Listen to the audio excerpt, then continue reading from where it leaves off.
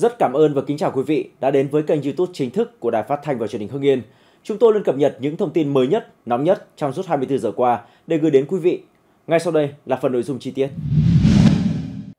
Mới đây, một vụ tai nạn nghiêm trọng đã xảy ra tại nhà máy luyện thép thuộc công ty cổ phần luyện kim đen Thái Nguyên, xã Nam Hòa, huyện Đồng Hỷ, tỉnh Thái Nguyên.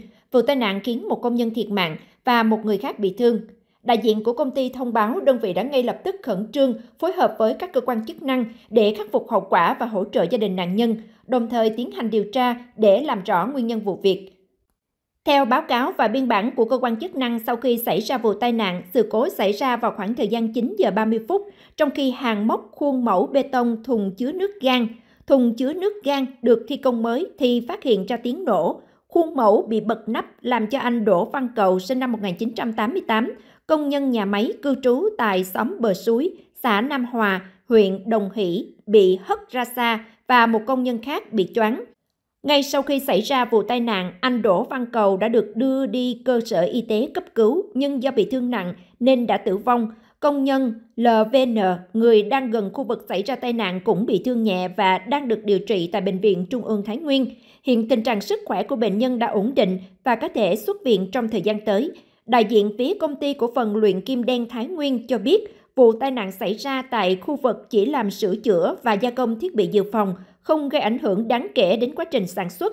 Hiện tại, hơn 500 cán bộ công nhân và người lao động tại nhà máy vẫn đang làm việc ổn định và hoạt động sản xuất diễn ra bình thường. Bên cạnh đó, công ty cổ phần luyện kim đen Thái Nguyên đã và đang tích cực phối hợp Sở Lao động Thương binh và Xã hội Thái Nguyên, cơ quan công an khẩn trương điều tra nguyên nhân xảy ra vụ tai nạn lao động, đồng thời khẩn trương khắc phục hậu quả. Sau khi lập biên bản vụ tai nạn khám nghiệm hiện trường, cơ quan chức năng bàn giao thi thể công nhân tử vong để công ty cổ phần luyện kim đen Thái Nguyên cùng với gia đình chính quyền địa phương lo hậu sự. Trước mắt, công ty cổ phần luyện kim đen Thái Nguyên cử nhân lực và chi phí toàn bộ tang lễ mai táng cho gia đình nạn nhân. Liên quan đến vấn đề tai nạn lao động, trước đó vào khoảng 18 giờ 30 phút ngày 21 tháng 12 năm 2023, tại khu vực Mông, mức âm 260 m, công ty than cọc 6 đã xảy ra sự cố tụt lỡ tầng khai thác. Đất đá sạt lở đã đẩy máy xúc đang hoạt động khiến một người tử vong, một người mất tích và 6 người bị thương. Công nhân bị tử vong là anh Lưu Thanh Tùng sinh năm 1988 và nạn nhân mất tích là anh Hoàng Thọ Hùng sinh năm 1976. Hiện các lực lượng cứu hộ đang nỗ lực tìm kiếm. Cả hai nạn nhân đều là công nhân vận hành máy xúc thủy lực, có hộ khẩu thường trú tại khu 2B, phường Cẩm Phú, thành phố Cẩm Phả, tỉnh Quảng Ninh. 6 công nhân bị thương đều trú tại thành phố Cẩm Phả, Quảng Ninh, gồm Nguyễn Thành Trung sinh năm 1982, Ngô Văn Mạnh sinh năm 1990, Hoàng Mai Luyến sinh năm 1985, Phạm Đức Hòa sinh năm 1988, Trịnh Quốc Huy sinh năm 1974 và Nguyễn Minh Tuấn sinh năm 1983. Nguyên nhân sơ bộ ban đầu của vụ tai nạn được xác định là do sự cố sạt bùn và đất đá khu vực tầng âm 270 xuống.